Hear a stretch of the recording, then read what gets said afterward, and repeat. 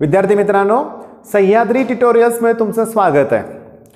काल मी स्ट्रॅटजी दिली होती. बऱ्याच मुलांचे मला व्हॉट्सअपवर मेसेज आले की त्यांना ते फार आवडलं लक्षात घ्या. आणि त्यांनी ठीक आहे काही मुलांनी आभार मानले. काहींना आवडलं फार काहींनी त्याप्रमाणे केलं. माझ्याकडं जे एक दोन मुलं आहेत त्यांच्याकडं मी ते करून घेतलं. पेपर सॉल्व करून घेतले त्याप्रमाणे.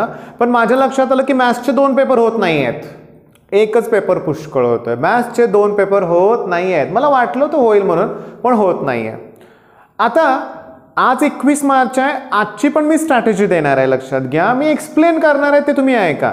फळ्यावरचं जे दिसतंय त्याचा स्क्रीनशॉट काढून हां चला आज हे करायचं. असं पण नाही आहे काय महत्त्वाच्या गोष्टी मी सांगणार आहे लक्ष द्या. कालचा दिवस माझा मी थोडासा वाया गेला असं म्हणतोय. का? कारण मी बराच वेळ एक तासभर ना टी व्ही न्यूज बघत बसलो होतो. मला बघायचं होतं. माझा मुलगा दहावीला आहे ना. मी म्हटलं चला बघू काही न्यूज आहे का? एक्झाम पुढं वगैरे जाते का? बाळांनो तासभर ज्या न्यूज बघितल्या ना डोकं दुखायला लागलं लक्षात घ्या. सिरियसली दुसरी कुठली न्यूजच नाही आहे घाबरवतायत हे न्यूजवाले आपल्याला. अरे करो करोनाचा आजार पसरतोय मान्य आहे. बरेचसे लोक मृत्युमुखी पडतात हे पण मान्य आहे. पण मोठ्या संख्येवर लोक बरे पण झालेत ना. यांनी ती न्यूज दाखवली पाहिजे मग त्या न्यूज दाखवल्या जात नाही आहेत समजून घ्या मग माझं तुम्हाला म्हणणं आहे काय? टी व्ही न्यूज बघू नका. बघू नका लक्षात घ्या. देशात काय चाललंय? कशी काळजी घेतली पाहिजे? यासाठी आपलं गव्हर्नमेंट आहे. फार चांगली कामगिरी करते गव्हर्नमेंट आपण मुख्यमंत्र्यांचे आभार मानले पाहिजेत. देश पातळीवर देखील अतिशय छान काम सुरू आहे. मग ती आपली जबाबदारी नाही आहे त्यामुळे काळजी नाही करायची. म्हणजे मलाच काल त्रास झाला होता म्हणून मी तुम्हाला सांगतोय आपण टी व्ही न्यूज बघायच्या नाही आहे आता करोनाच्या बाबतीत काय काळजी घ्यायची आपल्याला? उद्या आहे बावीस मार्च जनता कर्फ्यू आहे. आपण स्वतःहून काळजी घेऊया. इतरांना सल्ले द्यायचं राहू दे. आपण घरातून बाहेर पडायला नको. आणि खूप आनंद होतोय मी बघतोय ना की व्हॉट्सअप स्टेटसला सगळ्यांचे हेच आहे बावीस मार्च. कसा फायदा होणार आहे? चेन कशी ब्रेक होणार आहे? हे सगळं एक्सप्लेन करतायत. पण मला म्हणायचं आहे काय स्टेटस ठेवलंय.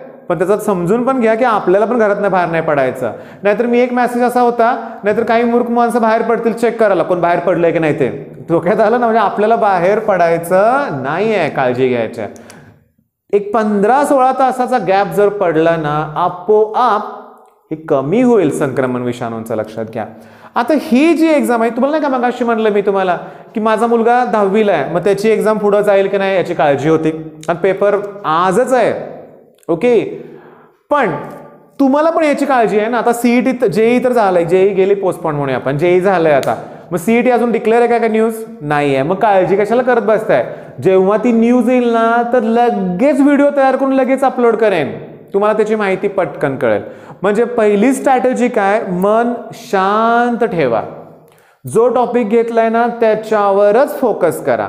एक टॉपिक घेतलाय सब्जेक्ट दुसऱ्याच काळजी वाटते असं नको आहे बघा तुमचे मेसेज येत आहेत बरं का मला पण मला जे योग्य वाटतंय असंच मेसेजला मी रिप्लाय देतो लक्षात घ्या. आणि काय होतं तुम्हाला क्लिअरली सांगतो लक्षात घ्या.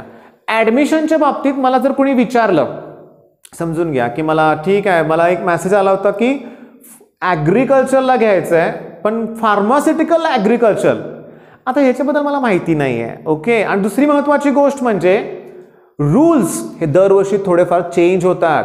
ॲडमिशन घेताना जे काही ब्राउचर तुम्हाला मिळेल. त्यातली लाईन टू लाईन वाचून रूल्स हुडकायचे असतात. इंजिनिअरिंगला सुद्धा दरवर्षी आता गेले चार पाच वर्ष म्हणूया आपण ऑप्शन फॉर्म भरताना रूल्स चेंज झाले होते. फार पूर्वी ना एक पाच सात वर्षापूर्वी तर शंभर ऑप्शन्स भरायचे होते. त्यातले दहा कंपल्सरी असायचे पहिले. त्यात मिळालं तर घेतलंच पाहिजे असे रूल्स होते. नंतर ते चेंज झाले ना. त्यामुळे मी कुणालाही ॲडमिशनबद्दल काही सल्ला देत बसत नाही आहे लक्षात घ्या. आणि त्यामुळे तुम्ही नाराज होऊ नका. तुम्ही जे काय परफेक्ट असेल माझं तेच मी तुम्हाला सांगेन हे लक्षात घ्या. बरं हे सगळं झालं मागची स्ट्रॅटेजी बघूया आपण आता. फिजिक्स केमिस्ट्री आणि मॅथ्स मॅथ्स आपलं काय ठरलं आहे आपल्याला एकच पेपर सॉल्व करायचं आहे एकच पेपर पण थांबा ना. मी यात आणखीन वाढवतोय काय बघा प्लस डेरिव्हेटिव्ह काल मी एक झेरॉक्स दिले. ॲक्च्युली माझी स्ट्रॅटेजी कशी आहे बघा की व्हिडिओ मी ऑलरेडी अगोदर अपलोड करतोय आणि तेच तुम्हाला दुसऱ्या दिवशी करायला लावतोय. दहा दिवस आहेत आपल्याकडे अजून. दहा दिवसात ना रोज दोन तीन चार पाच असे टॉपिक जर व्हायला लागले अरे तर किती टॉपिक क्लिअर होतील आपले? आणि रेग्युलर क्लासमध्ये जसं मी शिकवतोय ना अगदी तसंच इथं शिकवायचा प्रयत्न करतोय. पण रेग्युलर बॅचमध्ये काय होतं की जरा डाऊट्स वगैरे मुलांचे क्लिअर करतात ना वन टू वन आणि कसं आहे बघा की माझ्या इथं नेटचा थोडासा इश्यू असल्यामुळे ते लाईव्ह लेक्चर्स मी काय अजून घेतले नाहीत आणि मी थोडासा तो प्रयत्न केलेला पण नाही आहे लक्षात घ्या. मग आता करायचं काय बघा फिजिक्समध्ये इलॅस्टिसिटी आणि इलेक्ट्रोमॅग्नेटिक इंडक्शन तीन क्वेश्चन याच्यावरती येणार. करणार काय तुम्ही? तुम्हाला मी सांगतो की इलॅस्टिसिटी आणि E M I E M आयचे न्यूमरिकल जास्त येत आहेत आणि इलॅस्टिसिटीमध्ये फॉर्म्युले डिराईव्ह करायला जास्त येतात लक्षात घ्या. तुम्ही मी ज्या पी डी एफ तुमच्याशी शेअर केलेत ना तुम्ही बघा मी ऑलरेडी व्हिडिओ त्याच्यावर अपलोड केले डिस्क्रिप्शनमध्ये लिंक शेअर केलेली आहे ते सगळे सॉल्व करा. एक बघितलंय मी लक्षात घ्या. थेअरीच्या वेळेस नाही का जे मी गेस केलं ते आलं होतं. आता सीईटी वेळेस पण मी बघतोय शॉकिंग आहे. अगोदरचेच क्वेश्चन पुढे ते विचारतायत. पण एवढा आहे की क्वेश्चनची संख्या खूप जास्त आहे. आणि त्यामुळं काय होतं की तुम्ही जर माझं सजेशन तेच आहे परत कालचं होतं तेच. प्रिव्हियसली आस्क क्वेश्चन करा तुम्हाला सगळं जमून जाईल. आता इलेक्ट्रोमॅग्नेटिक इंडक्शनचं पण सांगितलं. फॉर्म्युले करा. व्हिडिओ ऑलरेडी अपलोड आहे. तो बघा. लगेच डिस्क्रिप्शनकडे जाऊ नका. तुम्ही अगोदर फॉर्म्युलेची लिस्ट तयार करा. व्हिडिओ पूर्ण बघा. मग डिस्क्रिप्शनमध्ये जाऊन ती लिंक ओपन करा आणि मग ते सॉल्व करा. आता केमिस्ट्रीबद्दल सांगायच्या अगोदर एक थोडासा ब्रेक घेतोय. विद्यार्थी मित्रांनो मला तुम्हाला सुचवायचं आहे काय बघा किंवा सजेस्ट काय करायचं आहे बघा? इथून ट्वेल्थ नंतर तुम्ही कुठेही ॲडमिशन घ्या. काही जण इंजिनिअरिंगला घेतील फार्मसी लॉला घेतील बी एस सीला घेतील मेडिकलला घेतील. मेडिकलचं जास्त मला माहिती नाही आहे पण समजून घ्या इंजिनिअरिंगला तुम्ही ॲडमिशन घेतलं आहे तर माझा तुम्हाला सल्ला काय असेल बघा की ठीक आहे कुठेही म्हणूया आपण ॲडमिशन घेतलं आहे तर तुम्ही प्रिव्हियस इयरचे जे काही क्वेश्चन पेपर असतात ना त्याचं ॲनालिसिस लवकरात लवकर करायला शिका. बरं ॲनालिसिस करायचं म्हणजे काय? चार पाच पेपर बघायचे त्या टॉपिकमधले कुठले क्वेश्चन्स आले ते बघायचं आणि ठरवायचं बघायचं की कुठला क्वेश्चन रिपीट होतोय. आता आपण टॉपिक कुठला घेतलाय सांगा? सोल्युशन अँड कॉलिगेटिव्ह प्रॉपर्टीज दुसरा आहे केम फर्स्टमधला लक्षात घ्या. बरं याच्यातलं काय आत्तापर्यंत सीईटीत आलं होतं हे आपण आता डिस्कस करूया. मग त्यानुसार ठरवूया ना की अभ्यास कसा करायचा आहे. बरेच जण बघा ॲक्च्युली होतं काय बघा? बऱ्याच वेळा मी चिडतो मुलांच्यावर. जेव्हा मी एखादं पुस्तक घेऊन आपलं स्टेट बोर्डचं शिकवायला सुरुवात करतो ना एखादा दुसरा नवीन मुलगा आलेला असतो ना तो म्हणतो काय माहिती आहे का सर एन सी आर टीमधलं घ्या ना त्यातलं लाईन टू लाईन येतं. त्यातलं काय येतं? लाईन टू लाईन तर एक लक्षात घ्या मी काय सांगतोय ते ऐका. आपलं टेक्स्टबुक आहे ना ते बेस्ट आहे. आपलं टेक्स्टबुक खरोखर बेस्ट आहे लक्षात घ्या. त्याच्यातले सगळे क्वेश्चन्स आले तुम्ही सीईटीतला असा एखादा क्वेश्चन दाखवा ना मला की जो आपल्या टेक्स्टबुकमधला नाही आहे एन सी आर टीमधला आला आहे एकही सापडणार नाही आहे तर माझं म्हणणं काय बघा स्टे आपलं जे स्टेटचं टेक्स्टबुक आहे ना तेच वापरा. न्यूमेरिकस त्यातले आहे तसे येतात परीक्षेत हे लक्षात घ्या. आता आलंय काय बघा की मी जे बघितलेत ना क्वेश्चन पेपर त्याच्यातलं सांगतो तुम्हाला मी की फॉर्म्युला प्रश्न असा आलाय सीईटीत which of the following is van't Hoff general solution equation pi V equals to N R T किंवा पाय इक्वल्स टू बघा pi V equals to N R T मग pi equals to N upon V R T हा correct option होता. पण N upon V म्हणजे concentration मग pi equals to C R T म्हणजे या टॉपिकमधले जेवढे फॉर्म्युले आहेत म्हणजे कुठं कुठं आहे सांगा बघू. राऊल्ड्स लॉवरती आहे. त्याच्यानंतर हेनरीज लॉवरती आहे. Van't Hoff general solution equation आहे. आयसोटोनिक सोल्युशन अरे किती फॉर्म्युले आहेत? खूप आहेत. Relative lowering of vapour pressure आहे. तो पण. आणि इलेव्हेशन इन बॉइलिंग पॉईंट आणि मोलार मास ते पण सीटीत आलेला आहे. म्हणजे फॉर्म्युले करा येऊ शकतात नाही येणारच का? न्यूमेरिकल आहे ना कंपल्सरी मग फॉर्म्युले पाठ झाले की त्याच्यावर आधारित न्यूमेरिकल जमणार. म्हणजे सोल्युशनची तयारी करत असताना की पहिला स्टार्टलाच फॉर्म्युला न्यूमेरिकल करा. ओके माझा एक आणखीन अनुभव सांगतो. मी असं सांगितलं की बरीच मुलं म्हणतात सर तसं नका करू. स्टार्टपासून घ्या ना टॉपिक तर असं जर कोणी बोललं या स्टेजला तर मी थोडंसं चिडतो त्या मुलावर. का? पण वर्षभर अभ्यास केलाय. सीईटीला कमी वेळेत ना जे येते तेच करायचं आहे ना. आता लाईन टू लाईन वाचायची वेळ आता आहे का सांगा बघू. नाही आहे त्यामुळे मी सांगतोय ते मला डोळे मिटून तुम्ही फॉलो करा. बर.